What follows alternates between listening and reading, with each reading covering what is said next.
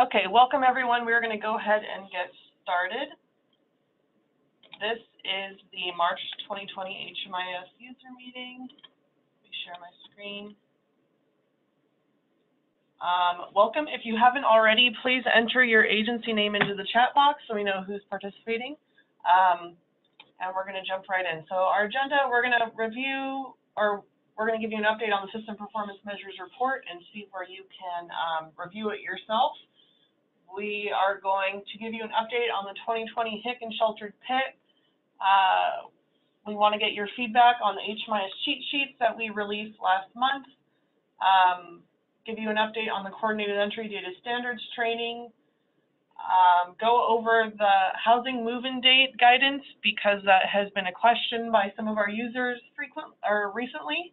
Um, we also have a new field for clients that are exiting permanent housing projects without a housing move-in date. Um, and we have the data and performance management meeting agenda. We're going to go ahead and get started. First up, the System Performance Measures Report has been submitted to HUD. It was submitted last Friday, and um, the report has been published on our website, so I'll show you how you can review that. Thank you to all the agencies that participated and um, reviewed the corrections that we sent and made it as many corrections as they could to make our make sure our data was the best it could be. Um, so on our website, when we when we publish these slides, you'll um, there'll be a link, but what it will look like. Uh, this is the page on our website. There's a system performance reports page the top gives you an overview of, of what it is and um, the measures that are included. And then at the bottom, there are links to all of the reports that we have submitted for the past five years. Um, and the 1819 report is the report that we just submitted. And so if you click on the link, you will see, so this is um, this is a custom report that uh, 211 created, but it includes all of the data that was submitted to HUD in the system performance report.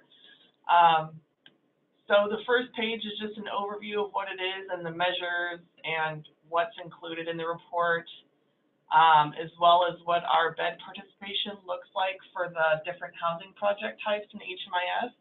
So this is the percentage of beds in Orange County that are not DV beds um, and are in HMIS. So you can see that there.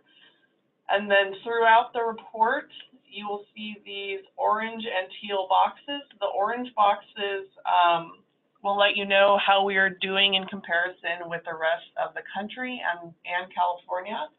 Um, so you can see how we compare. And then the teal box um, highlights any um, nuances or data quality issues that are specific to Orange County that kind of explains how the data looks.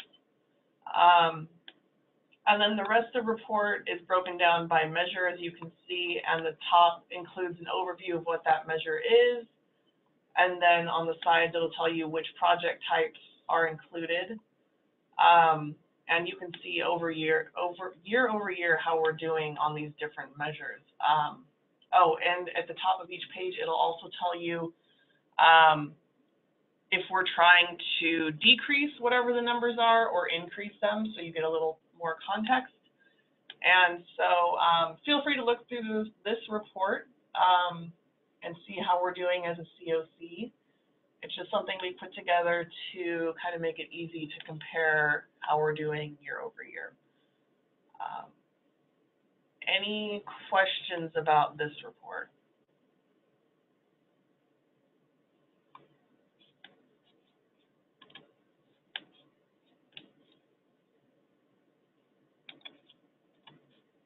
Okay.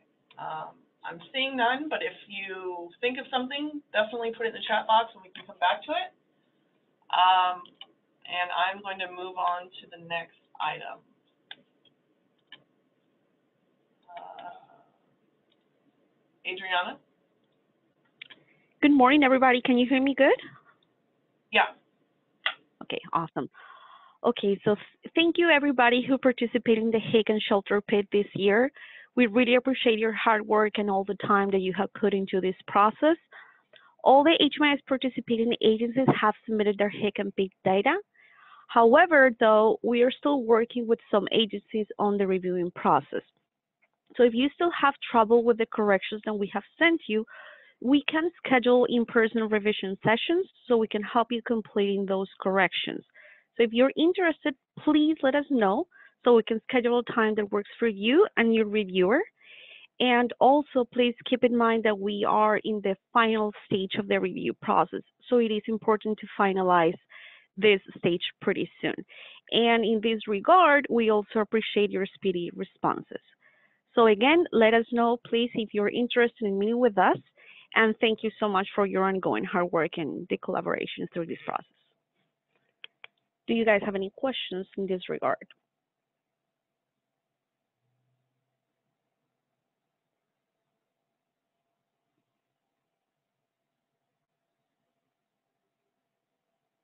I'm not seeing anything. Okay, thank you.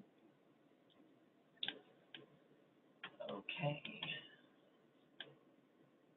Next up, we're looking for some feedback on the HMIS data elements cheat sheet. Um,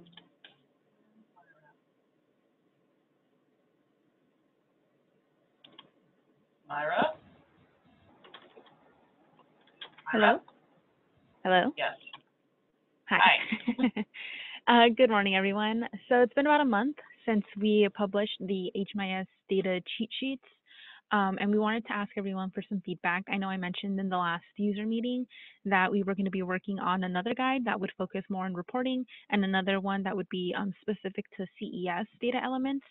So while I create those, I wanted to see if there was any improvements that we could make on the existing guides, as well as suggestions I can keep in mind while making the other ones in the next coming weeks. Um, so I did write out a couple questions to just ask the group so that we can kind of gauge um, how everyone feels about them. Uh, with first and foremost, if anyone has been able to look at them, um, did, has anyone shared them with their team? Has there been any feedback that was given uh, to you or any feedback you would like to provide? Um, do you guys find it helpful? Are there any ways in which we can make improvements to what they are? Oh, and I see there's some feedback.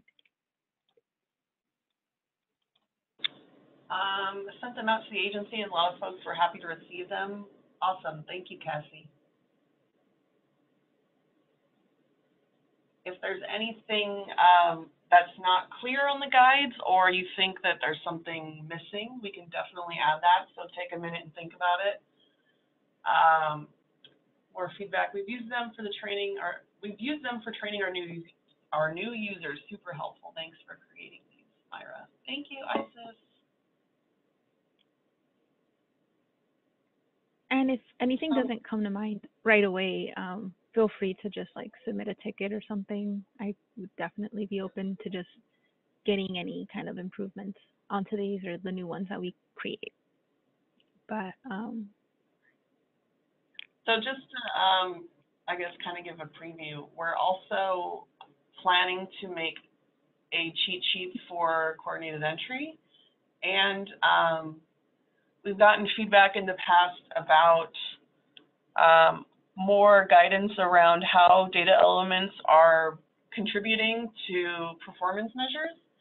So we're trying to create a guide that kind of gives some information around that. So you can expect those um, in the coming months. And got some excitement for a CES one. Yes.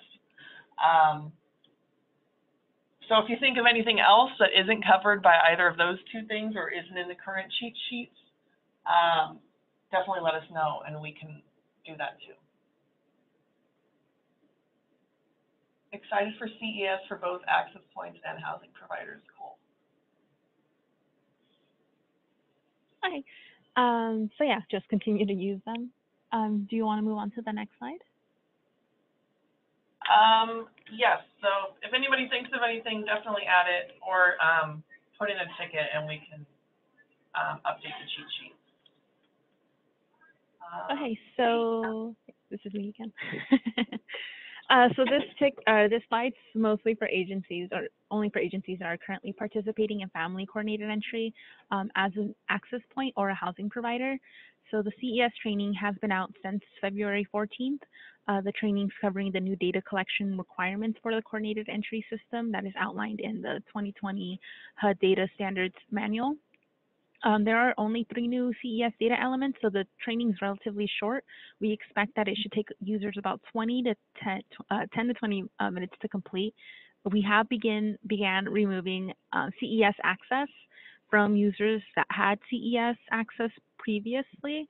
So uh, make sure that users are checking up on that because it isn't like extremely obvious or upfront. So that began on March 2nd. Uh, so if they had CES access before and they had not uh, completed the training as of March 2nd, they are no longer able to access CES. Uh, so as a reminder, if you did have uh, CES access as of February 14th, you are to take the 2020 CES Data Standards Training. Any users that had or wanted to get CES access after February 14th need to complete the HMIS Coordinated Entry Training. And the, the reason the training is different is because the 2020 coordinated entry data standards lessons have been added into the HMIS coordinated entry training so that new users only need to complete the one training. They don't need to do both. And also, one last thing, um, agency administrators uh, do need to submit the ticket to HMIS through the help desk to notify us um, once users have completed their training so we can unlock or add their accounts back to CES access since we don't get notifications right away when users complete their trainings. So as a reminder.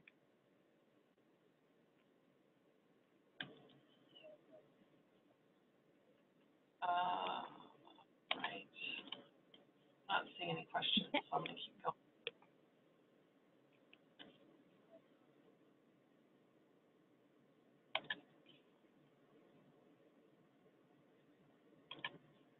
Casey?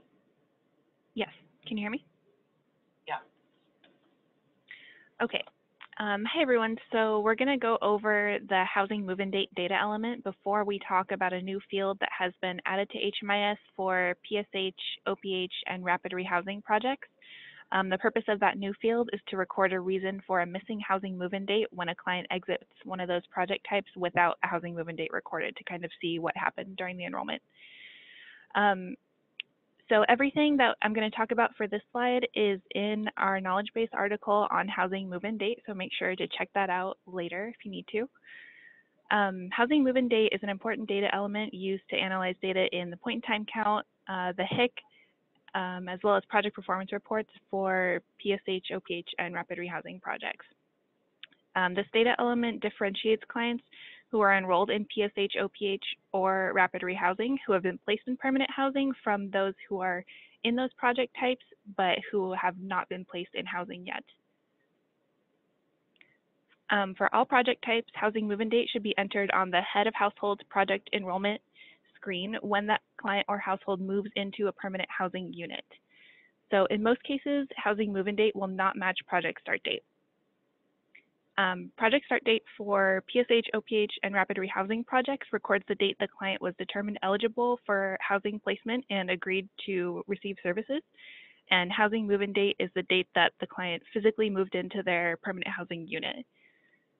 So for more information about project start date and when that date should be determined, you can check out our project start date knowledge base article, which goes over how each project type should be determining project start date. Okay, so there are some special circumstances that the HMIS data manual um, provides guidance on regarding housing move-in date, so I'm going to go over those too. For rapid rehousing projects, housing move-in date should be recorded whether the rapid rehousing project is funding the unit the client ultimately moves into or not. So if a client moves into a unit the project has not paid for or provided rental assistance for, housing move-in date should still be entered into HMIS because it still differentiates clients who have been housed from those who have not. Um, clients enrolled in PSH or OPH who are receiving pre-housing placement services but are ultimately housed by another project or subsidy source should be exited from that PH project to the appropriate destination based on the client's living situation at the time of project exit.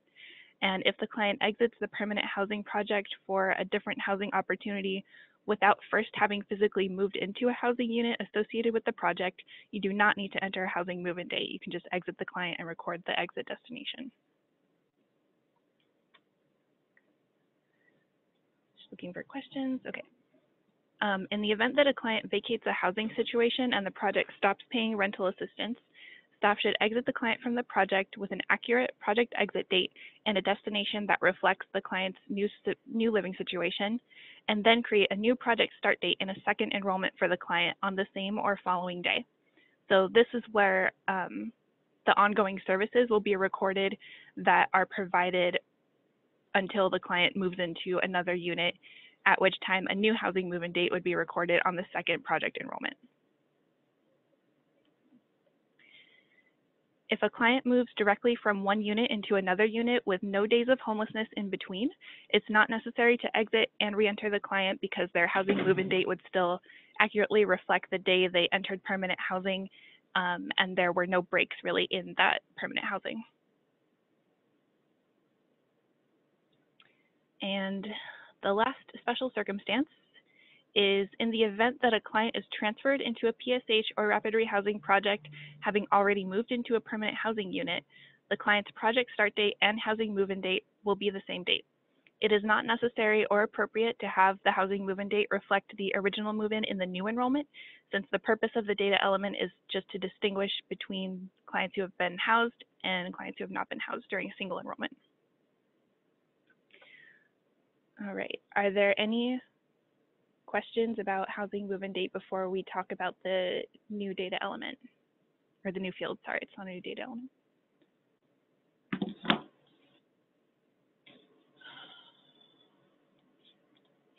I'm not seeing any questions. Okay, we can go to the next slide then. So at the January 2020 Data and Performance Management Committee meeting, it was decided that it would be beneficial to start keeping track of reasons that households may exit PSH, OPH, or rapid rehousing projects without housing move-in dates. So this new field, which you can see a screenshot of, will appear um, if the client exits one of those project types without a housing move-in date. And the available response options are the client was unable to meet landlord requirements, the client transferred to another project, their certificate expired, the project lost contact with the household, the client's needs could not be met by the project, or the client was housed outside of the project, or data not collected. And ideally, data not collected would only be used in the case of an enrollment being reopened after the client has exited, in which case the HMIS user wouldn't be able to collect information on why a housing move-in date wasn't entered. We're also wondering. Available today. We're also wondering um, if an optional text box, okay, would be useful here to provide more detail, like in cases of the project not being able to meet the client's needs or the client being unable to meet landlord requirements, like being able to provide more context for that. So if that's something you think would be helpful or especially not helpful, um, let us know.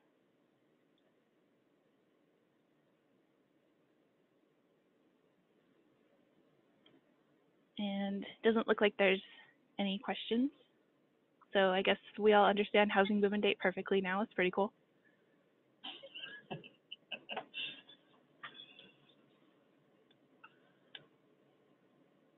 um, would certificate expired be the same as funds not available? Um, I, that would be a good question for the rapid rehousing providers. I think we, uh, certificate expired was meant for um, the PSH voucher projects. Um, I don't know if the rapid rehousing providers feel like a separate um, option is necessary or if certificate expired is okay for or means the same thing to them as funds not available.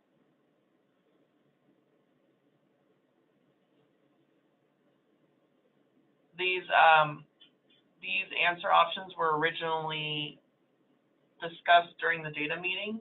Um, so it, it's possible that more items need to be added, but, so that would be a good, um, question for all, everybody here. Uh, will this be on the HMIS exit forms or just in the Clarity exit screen? Um, we can add it to the, the HMIS exit forms,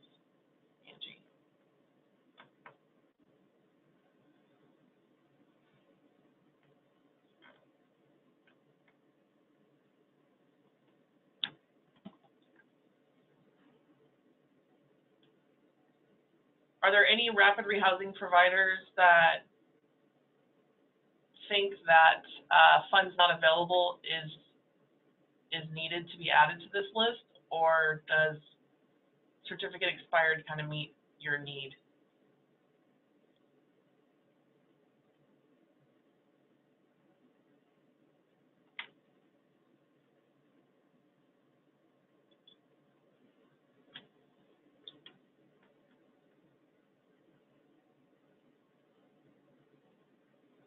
Uh, I got one vote for adding funds not available.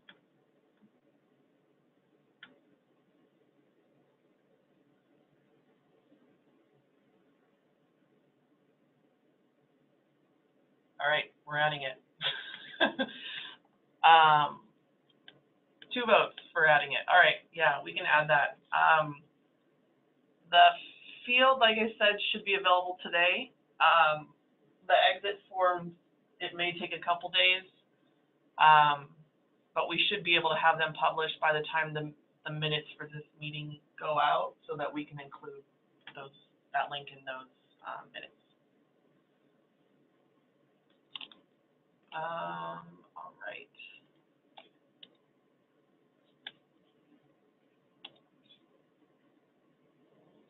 Linda, Hi, so this is just a little overview of what we will be discussing on this upcoming data and performance meeting. Um, so the homeless prevention um, project performance report will be published, and um, we will be going over that and discussing the details of the report. Um, also, we will be discussing um, about further plans to move forward with the data accuracy dashboard. Um, just a quick reminder that this month's data meeting will be held on um, March 12th, Thursday, upstairs in the CASA training room um, from 1.30 to 3. Um, and we hope to see you all there. and just to give, um, everyone an update that was at the last data meeting, um, there was some talk about whether or not we were gonna continue to have the data meeting. And we are going to continue having the data meetings. So, um, the COC board did decide to make it not, um, to no longer have it be a subcommittee, but we're gonna continue to meet, um, and manage all of the, um, email notifications and everything. So we'll send out the agenda prior to the meeting. We'll start posting the minutes from these meetings on our website as well as the slides and everything.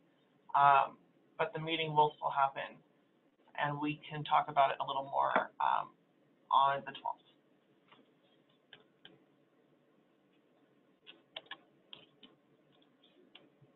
Uh, All right, so we have made it through our scheduled agenda, so we do have time for some Q and A. If anybody has anything they want to ask us or anything they would like to see um, in HMIS, any demos or anything, we can do that now. Um, otherwise, we will close down the meeting, but I'll wait a couple minutes. Uh, let's see. For the supplemental non-permanent exit questions, would needs not met by project apply to participant non-compliance in program situations? Um, it might be a good idea to have, um, non-compliance be a separate option so that, um, there's more context, um, because it could be that the client's needs weren't met because of something else. but non-compliance, um, is, is more, I guess, behavioral. Um, so we could add that if you feel like that is something you would like to be able to track.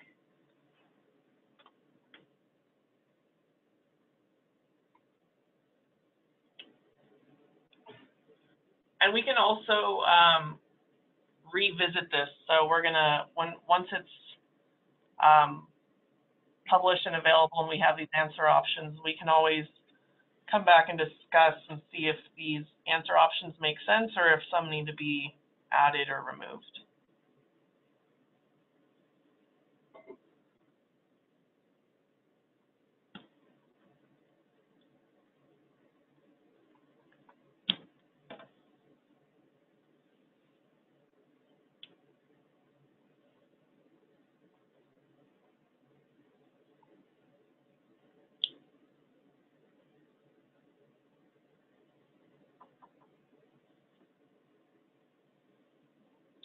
Okay, I'm not seeing any other questions coming in. I got another vote for program noncompliance.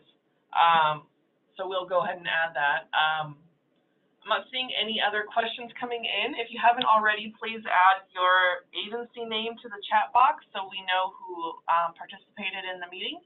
Uh, like I said earlier, we will be publishing the slides, the meeting minutes, and this, uh, the recording of this webinar on our website, and we will email that out, um, within the next few days. Um, and our next meeting is scheduled for April first, so we'll send out that meeting reminder also. Um, otherwise, thanks everybody for attending, and we will talk to you next month.